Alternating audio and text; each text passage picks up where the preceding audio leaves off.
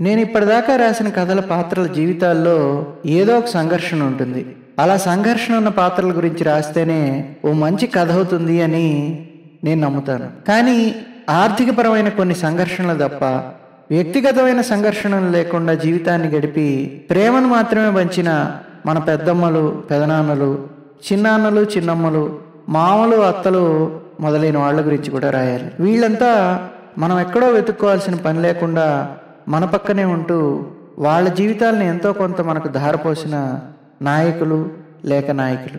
మనం వెనక్కి తిరిగి చూసుకుంటే ఇందరి సహాయ సహకారాలు ప్రేమానురాగాల వల్లనే మనం పెద్దవాళ్ళమయ్యామన్న స్పృహ కలుగుతుంది. ఈ మధ్య మా అమ్మతో మాట్లాడుతుంటే తన చిన్ననాటి స్నేహితురాలైన ఈదల పద్దమ్మ గారి గురించి చెప్తూ తన చిన్నతనంలో తనంతటి వయసుండే ఆవిడ చాలా పెద్దదైన వాళ్ళ పెరడంతా ఊడ్చి కళ్ళాపి జల్లి ముగ్గులు పెట్టి ఆ తర్వాత అంట్లన్నీ దోమేస్తే మా అమ్మ తనకి సహాయం చేసేది అంట్లు కడగడంలో.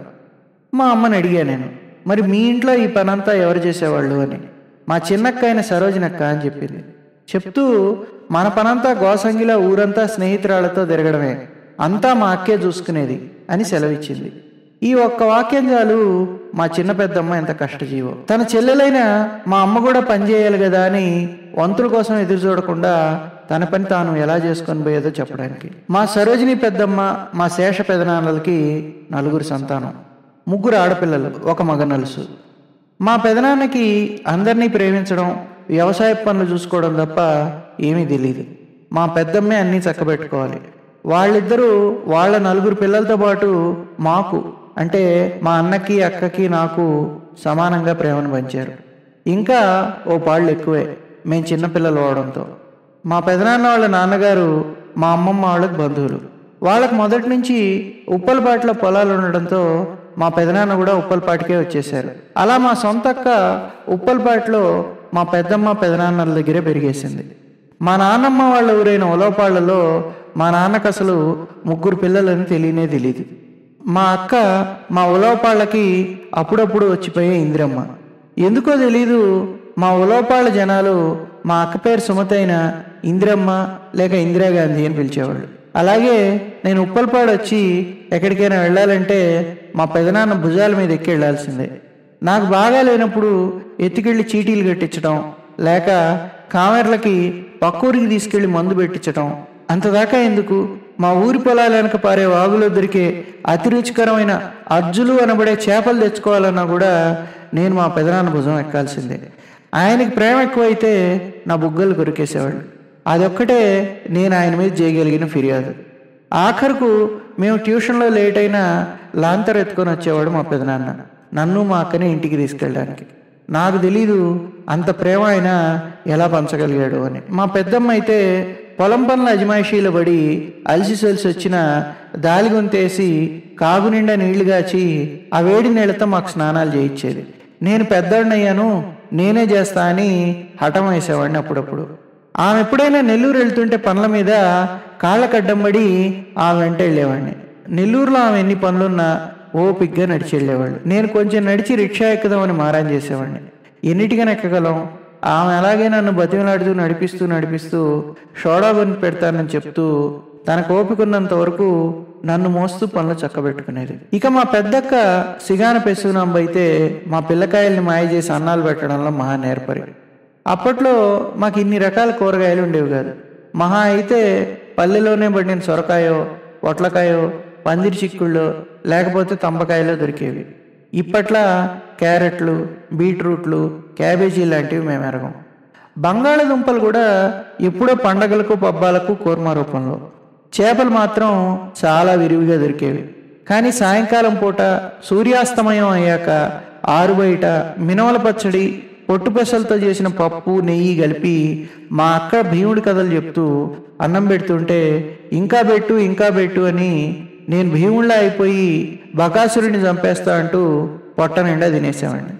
ఆ తర్వాత పెద్దమ్మే వాడు తిన్నాడనుకో నువ్వు పెట్టేయడమేనా? ఇప్పుడు చూడు వాడేలా భుక్తాయాసంతో కష్టపడుతున్నాడు అంటూ మా అమ్మమ్మ నా పొట్ట మీద చెయ్యేసి వాతాపి జీర్ణం వాతాపి జీర్ణం అంటూ తడిమేది. ఆ స్పర్శలోని హాయితో అక్కడే ఉండే నొలక మంచాల మీదే వాలిపోయేవాళ్ళం.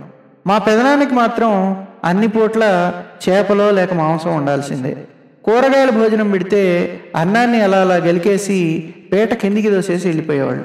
ఎక్కువ తినరు కానీ ఉండాల్సిందే. ఇక మా రెండో అక్క సునీతాంబ చదువుల్లో కడుసున్నా కానీ అందరికీ పెట్టడంలో మాత్రం మిన్న. తనది మహా పెద్ద చేయి. దాపరికం అసలు తెలియదు పెట్టే వస్తువుల గురించి కానీ లేక మాట గురించి కానీ ఈ అక్క చదువు తొందరగానే మానేసి ఇంట్లో ఉండడంతో మేము ఎక్కువగా ఈమె చుట్టూనే తిరిగేవాళ్ళం. ఈవిడ నిద్ర కోసం కళ్ళు మూయంగానే అక్క కళ్ళు తెరు నన్ను చూసి నవ్వు అంటాడు. ఇంకా కళ్ళు తెరవకపోతే మా సునీతక్క చచ్చిపోయిందని ఏడుస్తూ తిరిగేవాడినట్టు నేను. ఇవన్నీ మురిసిపోతూ చెప్పుకుంటుంది మా అక్క ఈ రోజు కూడా.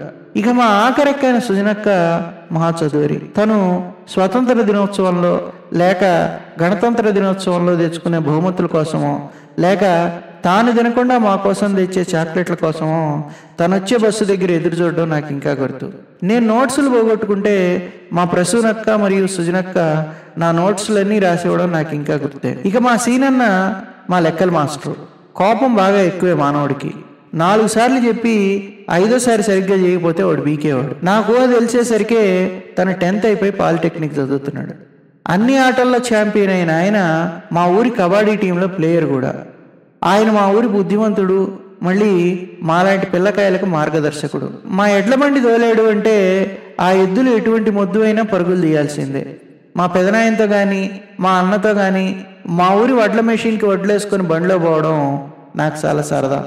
అలాగే చేలల్లో కానీ లేక మా పక్క ఊరు రామలింగాపురం వరకు వాళ్ళతో బండ్లో పోవడానికి పర్మిషన్ దొరికిన రోజు నాకు పండగే పండగ. అలాగే మా పెద్దనాయనో లేక మా సీనన్నో తాటికాయలు కోసి పెడుతుంటే వాటిని జురేయడం నేను మర్చిపోలేను. మా వాడు తాటికాయల్ని జురేయడంలో నెంబర్ వన్ అనేవాళ్ళు వాళ్ళు. ఈతకాయల గెలల్ని మా పెదనాయనతో కొట్టించుకొని మా గడ్డివామంలో మగ్గేసి ప్రతిరోజు అవి మగ్గాయా లేదా అని చూసుకోవడం ఇంకా కళ్ళ ముందరే. నొలక మంచాలని తిరిగేసి వాటి నాలుగు కోళ్ళకి తాడుగట్టి మా కొట్టాందోళాలకు ఉయ్యాలలాగా ఆయన వేసేస్తే ఎండలకి బయటకు తిరగకుండా వాటిల్లో ఊగుతూ గడిపేసేవాళ్ళం. ఓ రోజు మా సొంతన్న తన గొడ్డలన్నీ ఇప్పి ఆయన స్నేహితులతో కలిసి మా ఊరి చెరువులో ఈత కొడుతుంటే మా పెదనాన్న మా అన్న బట్టల్ని తన చంకన పెట్టుకొని వచ్చేశారు.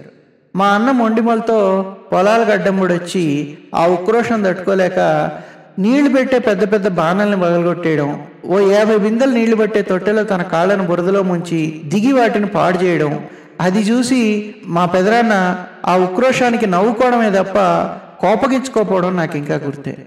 మా అన్నంత ఉక్రోషపడ్డానికి కారణం ఆ ఏడాది మా ఊరి ప్రాథమిక పాఠశాల మరమ్మతుల నిమిత్తం మా కొట్టాల్లో జరుపబడుతూ ఉండడం.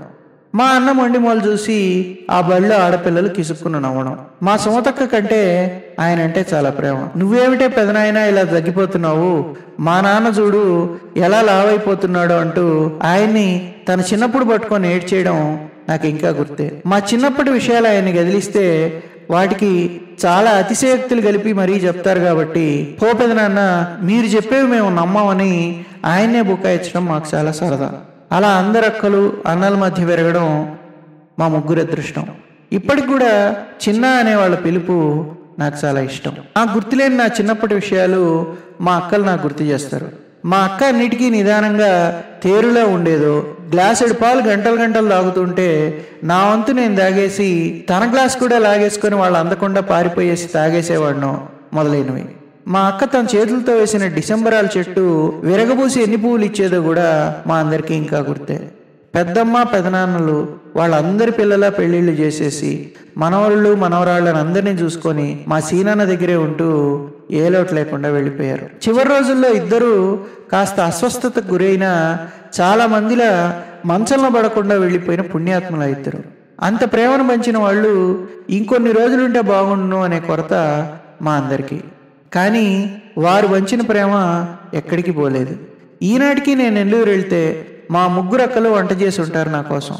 నేను ఎక్కడికి వెళ్తానో ఎక్కడ తింటానో నాకే తెలియదు వాడు చికెను చేపలు మానేశాడు వాడికి ఏమన్నా కూరగాయలు ఎక్కువ ఉండాలనే చిన్న చిన్న విషయాలు కూడా వాళ్ళు గుర్తుపెట్టుకుంటారు. ఇది కదా మన తన అని తేడా లేకుండా పెంచిన అమ్మ పెద్దమ్మ పెదనాన్నల అసలు గుర్తులు మాకు. ఎప్పుడన్నా మాలో గొడవలు పడి మేము దూరాలు పెంచుకుంటే ఖచ్చితంగా పైనున్న వాళ్ళ ఆత్మలు శాంతించవని మేము గుర్తుపెట్టుకుంటే మాకే మంచిది.